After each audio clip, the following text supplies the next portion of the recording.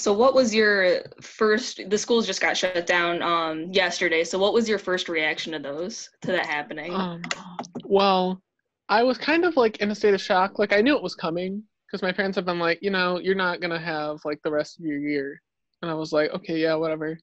But you know, as soon as it like actually hit, I was kind of in a state of shock because like I'm a musician, so everything that I've been in, whether it's the musical, whether it's the Flint Youth Symphony Orchestra, uh, my tour got canceled, my trip got canceled. So like it's just a state of shock that everything's been canceled. So now I have free time.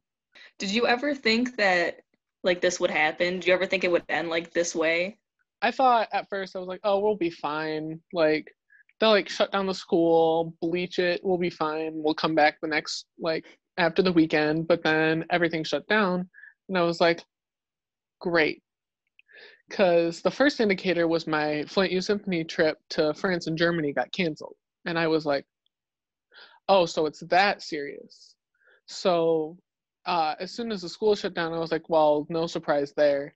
But then it was like three weeks, and then it was like, oh, we're tacking on another week. And I was like, okay, whatever. It's like just another week. And then they were like, okay, now we're going to the end of April. And I was like, great. And then uh, then they were like canceling school year. And I was like, kind of saw that coming, but wish it didn't happen, you know?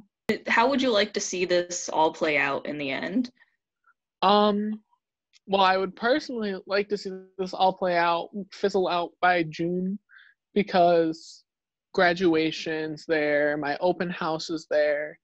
It would be like the last time I'd get to see my friends, because you know we had our like last day of school ever, last class period, last concert. None of us knew it was coming, so none of us like really got to say goodbye.